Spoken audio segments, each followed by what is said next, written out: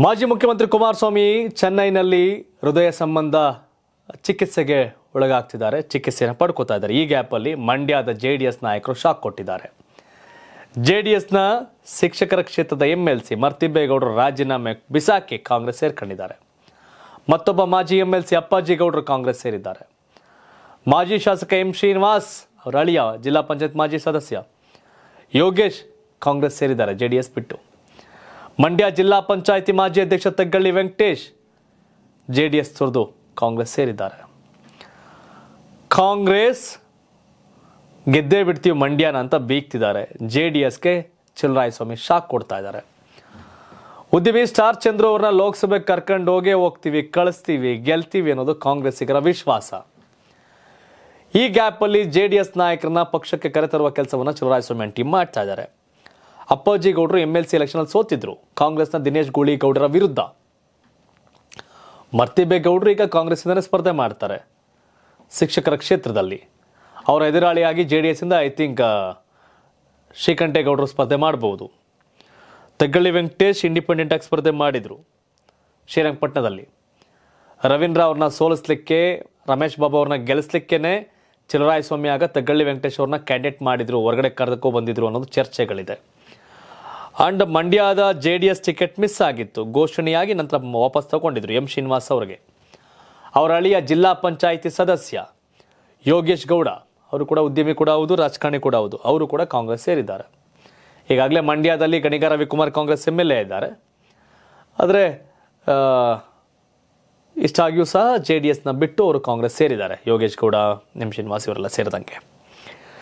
ಮಂಡ್ಯ ರಾಜಕೀಯದಲ್ಲಿ ನೋಡೋದಾದರೆ ಕಾಂಗ್ರೆಸ್ಗೆ ಇವತ್ತು plus point. Marthibegowda plus, Yogeesh Gowda plus, Appaji Gowda plus. ಏ ಶಿವು, ಅವ್ರು ಹಿಂದ್ಗಡೆ ಮೂರು ಮತ್ತೊಂದು ಓಟಿಲ್ಲ ಏನು ಹಿಂಗೆ ಹೇಳ್ತಿದ್ಯಾ ಅಂತ ಹೇಳಬಹುದು ನಾ ಕೆಲವರು. ಅದರದ್ದು ಮೂರು ಮತ್ತೊಂದು. ಧ್ರುವನಾರಾಯಣ ಅವತ್ತು ಗೆದ್ದಿದ್ದು ಎರಡು ಸಾವಿರದ ನಾಲ್ಕರಲ್ಲಿ ಸಂತೆ ಮರಳಿಯಲ್ಲಿ ಒಂದೇ ಓಟು. ಮೊನ್ನೆ ಲೋಕಸಭೆ ಚುನಾವಣೆಯಲ್ಲಿ ಗೆದ್ದಿದ್ದು ಒಂದೂವರೆ ಸಾವಿರ ಓಟಲ್ಲೇ ಶ್ರೀನಿವಾಸ್ ಪ್ರಸಾದ್ ಚಾಮರಾಜನಗರದಲ್ಲಿ. ಹಾಗಾಗಿ ಒಂದೊಂದು ಮತಗಳು ಕೂಡ ಮುಖ್ಯ. ಯಾರು ಏನೇ ಹೇಳಿದ್ರು ಇವತ್ತಿನ ಬೆಳವಣಿಗೆ ಜೆ ಡಿ ಎಸ್ನ ನಾಯಕರು ಕಾಂಗ್ರೆಸ್ ಸೇರಿದ್ದು ಕಾಂಗ್ರೆಸ್ಗೆ ಲಾಭವೇ. ಇದನ್ನು ಎಷ್ಟರ ಮಟ್ಟಿಗೆ ಜೆ ಡಿ ಎಸ್ನವ್ರು ಬ್ಯಾಲೆನ್ಸ್ ಮಾಡ್ತಾರೆ ಅಂತ ಕಾದು ನೋಡಬೇಕು. ಮಂಡ್ಯದಿಂದಲೇ ಕುಮಾರಸ್ವಾಮಿ ಸ್ಪರ್ಧೆ ಮಾಡ್ತಾರೆ ಜೆ ಡಿ ಎಸ್ ಅಭ್ಯರ್ಥಿಯಾಗಿ ಅನ್ನೋ ಅದನ್ನು ಹೇಳ್ತಾ ಇದ್ದಾರೆ. ಪುಟ್ಟರಾಜು ಹೇಳಿದ್ರು, ಒಂದಷ್ಟು ಜನ ಹೇಳ್ತಾ ಇದ್ದಾರೆ. ಕುಮಾರಸ್ವಾಮಿ ಅವರೇ ಅಭ್ಯರ್ಥಿ ಅಂತ Kumaraswamy for C M Facebook ಪೇಜಲ್ಲಿ ಆಗಲಿ ಅವರು ಬೆಂಬಲಿಗರು ಆಗ್ತಾ ಇದ್ದಾರೆ. ಕುಮಾರಸ್ವಾಮಿಯೇ ಜೆ ಡಿ ಎಸ್ ಅಭ್ಯರ್ಥಿಯಾದರೆ, ಮಂಡ್ಯದಿಂದ ಕಾಂಗ್ರೆಸ್ಸಿನ ಸ್ಟಾರ್ ಚಂದ್ರು ಅಭ್ಯರ್ಥಿಯಾದರೆ ಫಲಿತಾಂಶ ಮತ್ತಷ್ಟು ಮಗದಷ್ಟು ರೋಚಕ ಆಗುತ್ತೆ. ಸುಮಲತಾ ಅವ್ರು ಏನು ಮಾಡ್ತಾರೆ? ಅವ್ರನ್ನ ಸಮಾಧಾನ ಮಾಡೋದು ಯಾರು? ಇವೆಲ್ಲ ಪ್ರಶ್ನೆಗಳಿದೆ.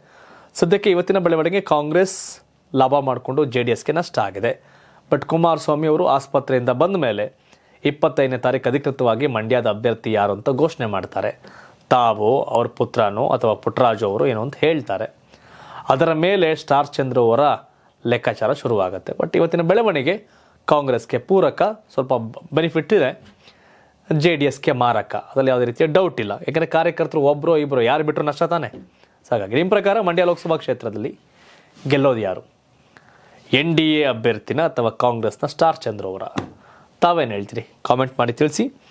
ಧನ್ಯವಾದ. ಇದು ಕರ್ನಾಟಕ ಟಿವಿ, ಕನ್ನಡಿಗರ ಧ್ವನಿ. ಯೂಟ್ಯೂಬ್ನಲ್ಲಿ ಕರ್ನಾಟಕ ಟಿವಿ ಅಂತ ಸರ್ಚ್ ಮಾಡಿ, ನಂತರ ನಮ್ಮ ಕರ್ನಾಟಕ ಟಿವಿ ಸಬ್ಸ್ಕ್ರೈಬ್ ಮಾಡಿ, ಸಬ್ಸ್ಕ್ರೈಬ್ ಆದ್ಮೇಲೆ ನಿಮಗೆ ಹೋಮ್ ಪೇಜ್ ಬಂದ್ರೆ ಕಮ್ಯುನಿಟಿ ಅನ್ನೋ ಆಪ್ಷನ್ ಸಿಗುತ್ತೆ. ಈ ಕಮ್ಯುನಿಟಿ ಆಪ್ಷನ್ ಕ್ಲಿಕ್ ಮಾಡಿದ್ರೆ ನಿಮ್ಮ ಕೆಳಗಡೆ ಇಪ್ಪತ್ತೆಂಟು ಲೋಕಸಭಾ ಕ್ಷೇತ್ರಗಳ ಒಂದು ಪೋಲ್ ಕ್ರಿಯೇಟ್ ಮಾಡಲಾಗಿದೆ. ನೀವು ಹೋಗಿ ಇಪ್ಪತ್ತೆಂಟು ಕ್ಷೇತ್ರಗಳಲ್ಲಿ ಯಾರು ಗೆಲ್ತಾರೆ, ಯಾರು ಗೆಲ್ಲಬೇಕು ನಿಮ್ಮ ಸಪೋರ್ಟ್ ಯಾರಿಗೆ ಅಂತ ಅಲ್ಲಿ ನೀವು ಕ್ಲಿಕ್ ಮಾಡ್ಬೋದು, ಅಂದರೆ ವೋಟ್ ಮಾಡ್ಬೋದು. ಇಲ್ಲೇನು ವೋಟಿಂಗ್ ಆಗುತ್ತೆ, ನಾವು ಪ್ರತಿದಿನ ನಾವು ನ್ಯೂಸಲ್ಲಿ ನಿಮಗೆ ಅಪ್ಡೇಟ್ ಮಾಡ್ತಿರ್ತೀವಿ. ಇದು ಮತದಾನದ ದಿನದವರೆಗೂ ಕೂಡ ಈ ಪೋಲಿಂಗ್ ಓಪನ್ ಇರುತ್ತೆ.